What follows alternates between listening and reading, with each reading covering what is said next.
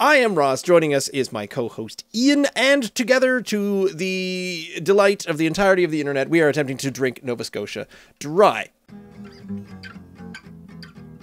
And tonight, we're trying again, I say again, milk stouts. Uh, from North Brewery, uh, the North North Street, no, just North Brewing North Brewing Company. But this is called the Headline Milk Stout Extra Extra North releases Milk Stout. Bystanders pause to enjoy milk chocolate notes. Several newspaper outlets fold after attempts at integrity.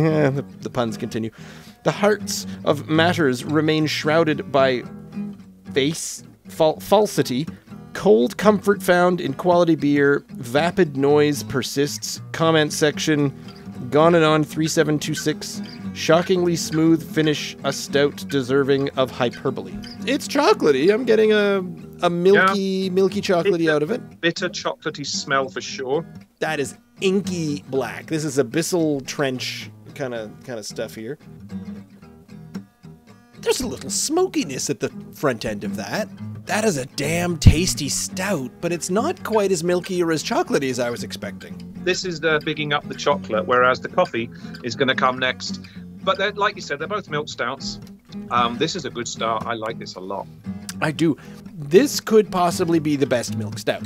I'm not getting clearly the sweetness that you are. This is bitter. This to me, this is there is a, a little bit of sweetness, Really? but it doesn't linger. It's the bitterness Mine- that lingers. It's it's nice. It's nice and balanced though. I really like it. This this is definitely a yes, I'd have another when the server comes back.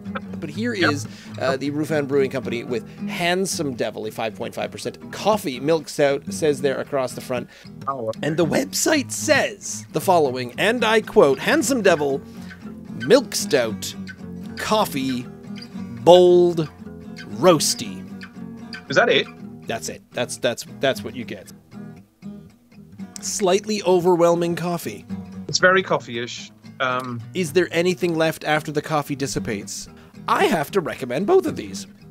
I the, the- think the, bitterness of coffee and chocolate um, is, is coming through it to me in, in spades. There doesn't seem to be a great deal of milkiness or creaminess or uh, to them. Well, it says it's calling it this, and yet I'm not getting that at all. So it's a perfectly delicious beer, but um, it's not what it says on the label. This one does, and it's got it. very very well done. Might be slightly overdone on the on the coffee because I'd love to appreciate all the milky chocolatey stuff coming in afterwards, but I, I'm I'm not getting it because the coffee is just so strong. Which is why I'm still sticking for like an 8.8 for the Handsome Devil, and I think maybe like a 9.2. 9.2, a little above a 9 for the for the headline. It was very, very good. Very, very good. Emphasis on the journalistic integrity. Mm, good beer this is.